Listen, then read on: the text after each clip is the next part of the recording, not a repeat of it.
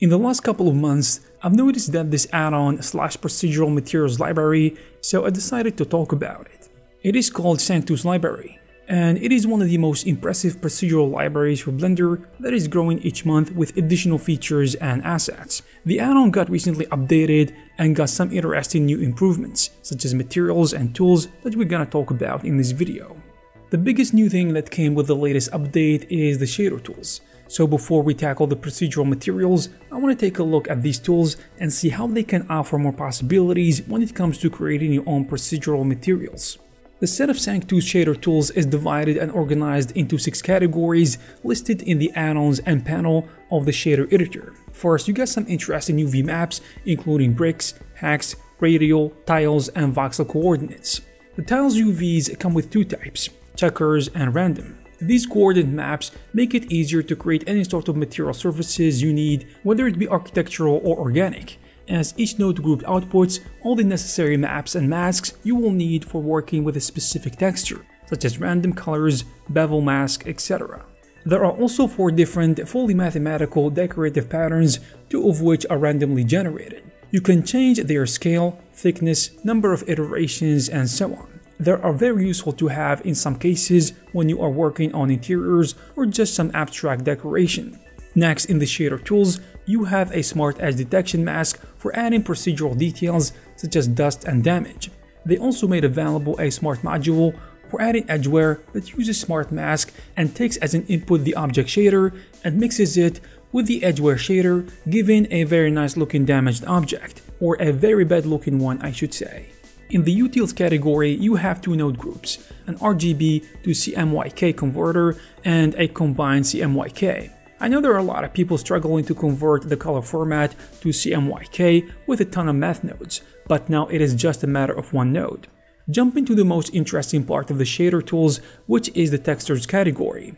It regroups non-complex textures including clouds, cells, cracks, dents, marks, scratches, animated caustics, and voxel noise textures. They are all based on native Blender noise, Voronoi, and white noise textures. They may run a little slow on your computer if used multiple times in one scene, so be careful not to overuse them.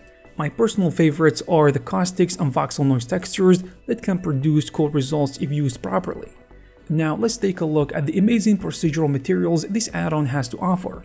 They have added 9 architectural glass textures in the glasses category, also with fake refraction and caustic effect, unique for each glass that gets projected on the neighboring surfaces. One of the new glass textures takes images as an input and displays them in a beautiful mosaic style. In the buildings category, they have added 4 variations of detailed hexagonal tiles materials with displacements, and keep in mind that everything is procedural and generated mathematically, which means that it doesn't rely on heavy image textures that take all over the drive storage. And it also offers a ginormous amount of customization, giving you the ability to create multiple unique variations of each material that you can use later on on any other project. And all this is at the tip of your fingers without moving a single node. For example, in this new hex tiles material, you can change their scale, and of course the corner's roundness, the amount of damage, the amount of tilt, and even the amount of damage on the borders only, and the list goes on. Sanctus went so far to make the two set of parameters for some materials like aging tiles materials where there are advanced and simple parameters for more friendly experience. Furthermore, a new type of car paint has been added, also with 4 variations that work well with both cycles and Eevee. In addition to two glass materials exclusively for Eevee, thin and solid glass.